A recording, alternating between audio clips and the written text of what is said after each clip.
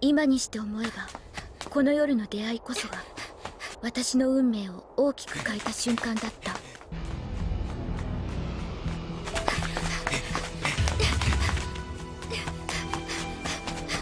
待ち上がれ小僧！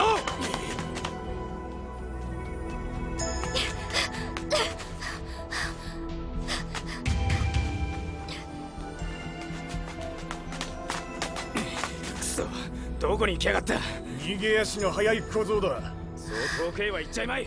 探せ。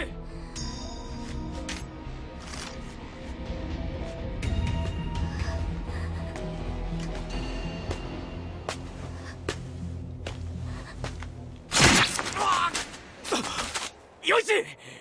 なんだてめえ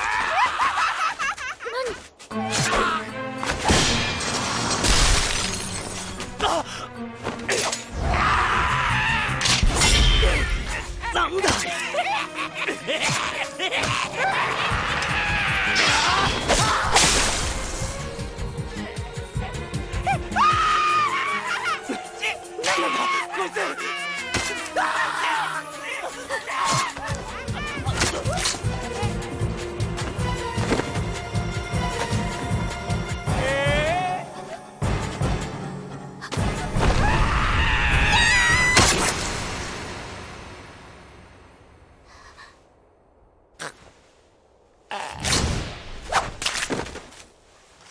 はあ残念だな。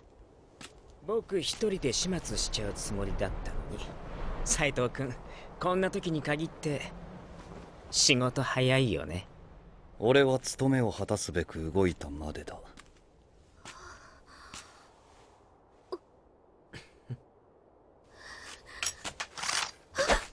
いいか。逃げるなよ。背を向ければ切る。なびく漆黒の髪に私は息を飲んだひらひらと降る雪が月明かりに照らされてまるで狂い咲きの桜のような